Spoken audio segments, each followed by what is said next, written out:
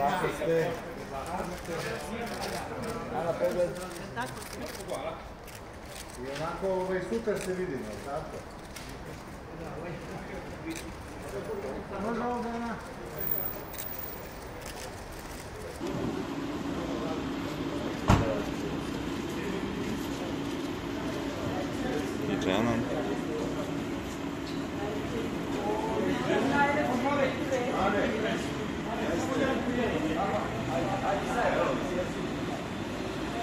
Može ovdje ka nama malo.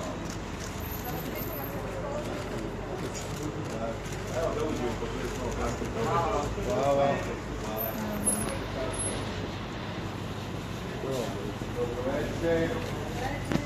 Dobroveče. I Žika Jačić. Samo jedno porodično. Jedno, jedno, jedno, jedno.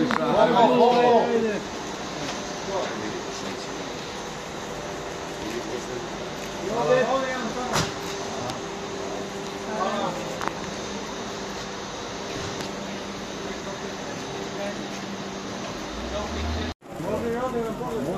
Jel se u Ljubljani 15. vidimo? A, dobro, dobro. Može samo ka nama još. E.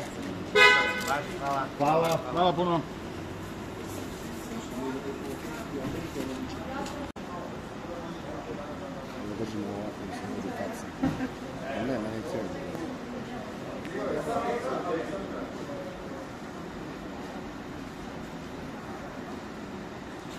Zašto si na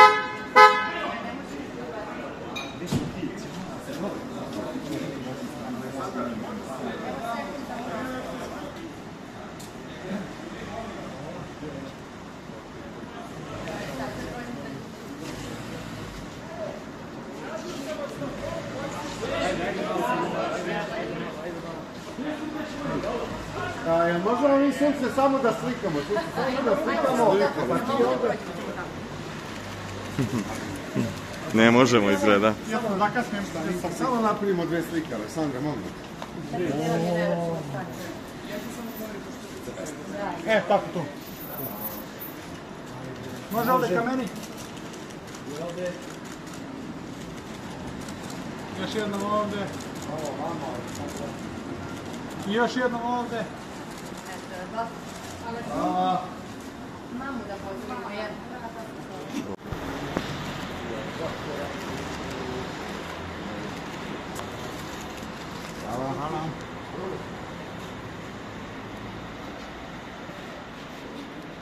svaki radio ja moram da ispratimo do kraja. Nego šta?